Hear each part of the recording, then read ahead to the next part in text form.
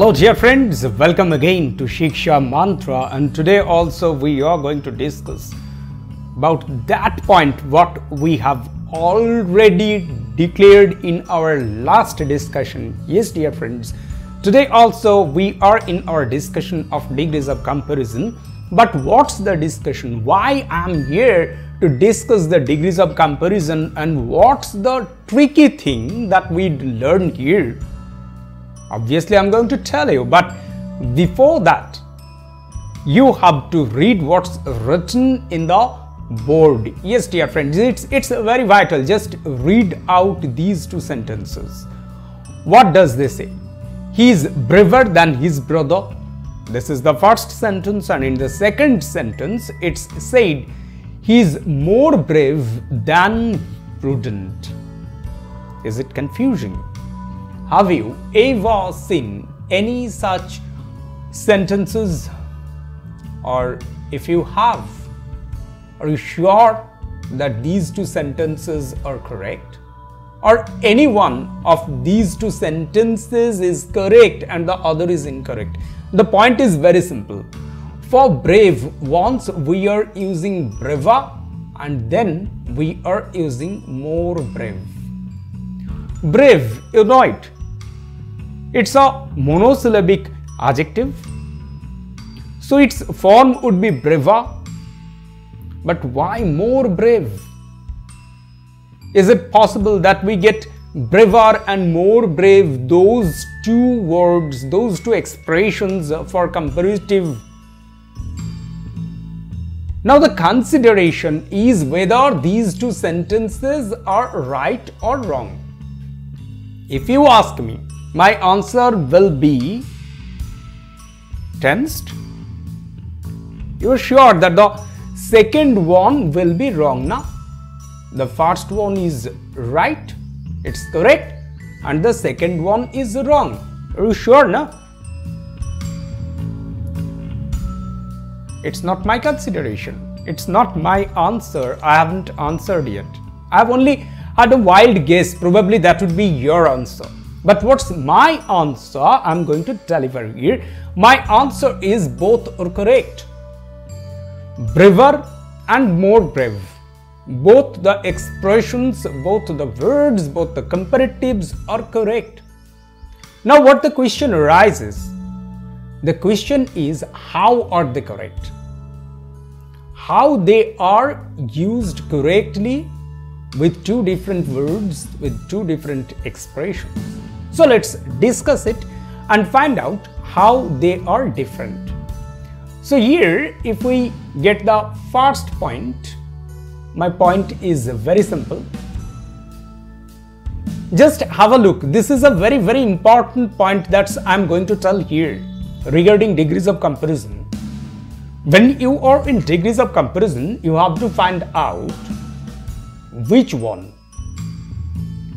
is the key here and what is compared with this.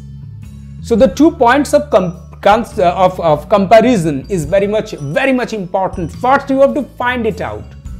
Which one is compared with what? So here brave, this is the points of comparison. And who is brave? He. And whose brevity is compared? His brother. So these are the two points of comparison. One, he and two, his brother. So it's a comparison between two noun, he and his brother. So it follows the simple rules of comparative degree. That's why it would be braver.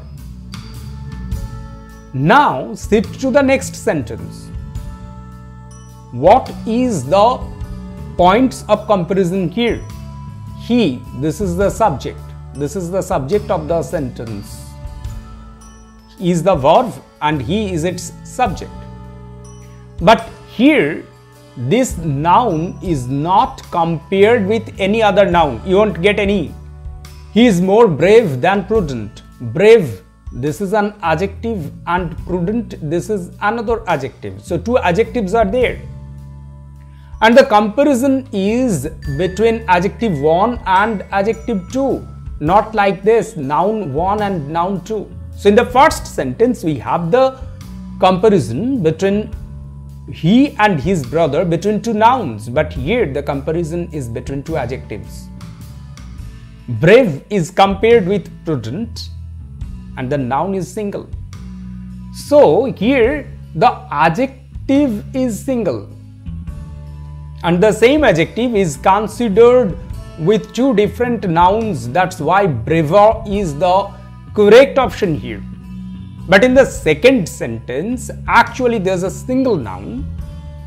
And these two adjectives these two quality brave and prudent it goes with the same noun that's he. That's why here we have to use more brave and not braver so Single noun, double adjective comparison, obviously it would be more brave. But single adjective, brave and double noun, he and his brother, here we use braver. So that's the trick and you have to remember it. It's very vital. Most of the time you don't consider these points. That's why you get confused. But English grammar is such, such a very simple subject with, with such fixed rules that you have every option to learn them and get confident. It's all about confidence. There's nothing to get confused of when you learn these rules by heart like this and we are here to provide you all such rules which are associated with your exam with which you can build your confidence in English grammar. So stay tuned with us, hit the bell icon hard with subscription button if you have stumbled upon this channel for the very first time. And if you are already with us for a long time stay with us. We are going to discuss many such points many such grammatical trick here in Shiksha Mantra. So we are returning very soon. Till then bye bye happy learning